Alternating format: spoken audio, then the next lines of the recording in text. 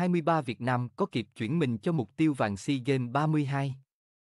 Lối chơi rõ ràng có tiến bộ hơn sau mỗi trận đấu tại Doha Cup 2023 nhưng thất bại ở giải giao hữu quốc tế của U23 Việt Nam cũng vẫn làm dấy lên sự lo lắng về mục tiêu huy chương vàng tại SEA Games 32.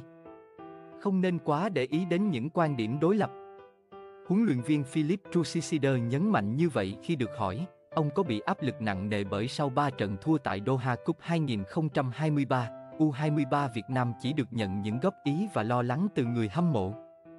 Ông chia sẻ, công bằng mà nhận xét, dù tôi chưa thể vui sau những trận thua của học trò trước U23 Iraq, U23 UAE và U23 Kyrgyzstan.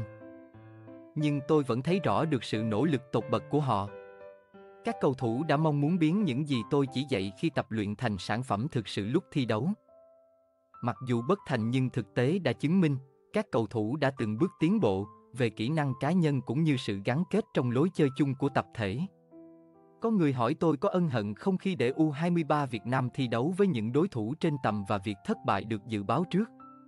Không. Sao tôi phải nao núng tinh thần?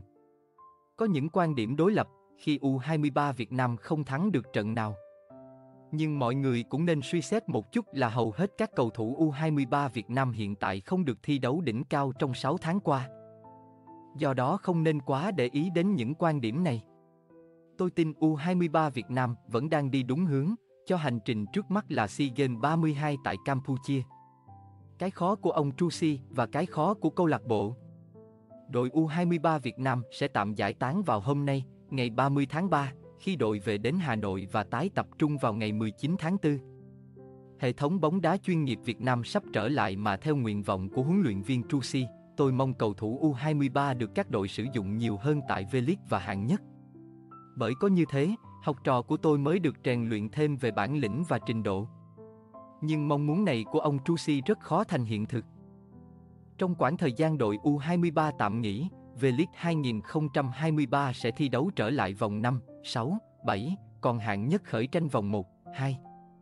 Trong số 23 cầu thủ U23 Việt Nam, không có nhiều nhân tố được sử dụng thường xuyên trong đội hình xuất phát tại V-League.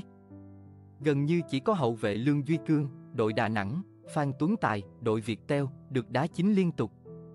Trong dàn sao của đội Công an Hà Nội, các cầu thủ trẻ U23 Việt Nam, hậu vệ Trần Quang Thịnh, Bùi Xuân Thịnh, Hà Văn Phương, đang khoác áo câu lạc bộ này khó lòng cạnh tranh suất đá chính, trừ hậu vệ trẻ Giáp Văn Dương.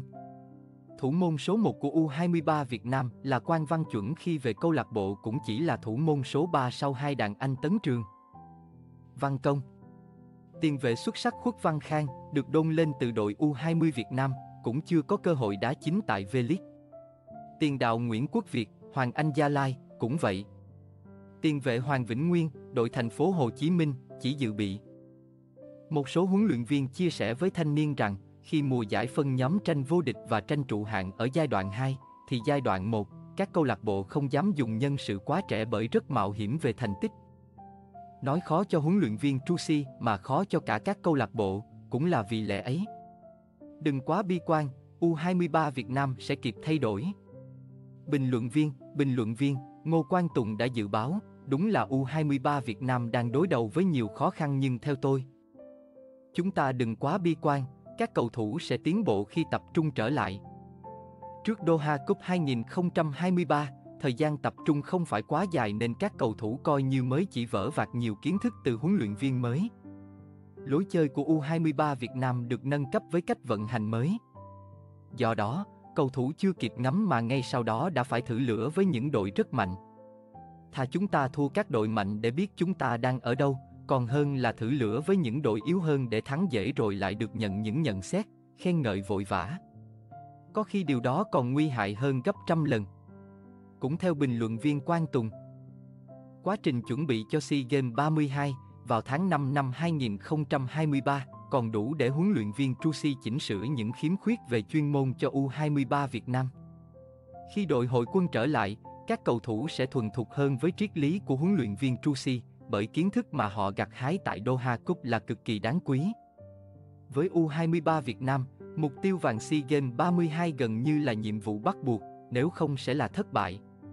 Nhưng ở đại hội, U23 Việt Nam gặp những đối thủ vừa tầm hơn, nên có thể thực hiện được mục tiêu này sau những bài học đắt giá vừa trải qua, bình luận viên Quang Tùng nói, cảm ơn các bạn đã theo dõi tin tức bóng đá 24 giờ News. Đừng quên đăng ký kênh và bấm chuông để nhận thông tin mới nhất nhé các bạn.